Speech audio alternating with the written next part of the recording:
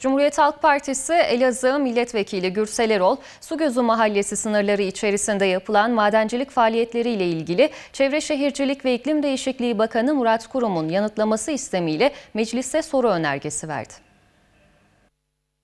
Elazığ'da Sugözü Mahallesi sınırları içerisinde faaliyet yürüten bir maden firmasının çalışmaları ile ilgili Cumhuriyet Halk Partisi Elazığ Milletvekili Gürsel Erol, Çevre Şehircilik ve İklim Değişikliği Bakanı Murat Kurum'un yanıtlaması istemiyle meclise soru önergesi verdi. Milletvekili Erol soru önergesinde şu görüşlere yer verdi. Elazığ Merkez Sugözü Mahallesi sınırları içerisinde bir maden firması tarafından işletilen taş ocağı bulunmaktadır. Bu işletmeden kaynaklı Sugözü Mahallesi Yedigöze mevkiinde vatandaşların hem tarımsal sulama suyu hem de içme suyu olarak kullandıkları kaynak dinamit yöntemiyle yapılan patlatmalar nedeniyle yok olmakta ve içme suyuna kimyasal madde karıştığı iddia edilmektedir. Bahsi geçen bölge mevzuat hükümlerimize göre koruma statüsüne sahiptir. Harput yerleşkesi ülkemizin taraf olduğu Dünya Kültürel ve Doğal Mirasının Korunması Sözleşmesi hükümlerine göre Dünya Kültür Mirası geçici listesine alınmıştır. Yine 2863 sayılı Kültür ve Tabiat Varlıklarını Koruma Kanunu'na göre bölgenin çok yakınına sit alanı olarak ilan edilmiş yerler bulunmaktadır. Böylesine önemli bir yerleşim yerinde madencilik faaliyeti yapılması hem insan hayatı hem de kültürel varlıklar açısından tehlike oluşturmaktadır oluşturmaktadır. Bu bağlamda insani tüketim amaçlı kullanılan su havzalarına çok yakın bir noktada madencilik faaliyeti yürütülmesiyle ilgili maden firması hakkında bakanlığınızca yürütülen herhangi bir soruşturma mevcut mudur? 3213 sayılı maden kanunu hükümlerine göre maden projelerinin yerleşim yerleri dışında yürütülmesi gerekmektedir. Bahsi geçen yerleşim yerinde yapılan madencilik faaliyetiyle ilgili şirket hakkında bakanlığınızca bir yaptırım uygulanmış mıdır?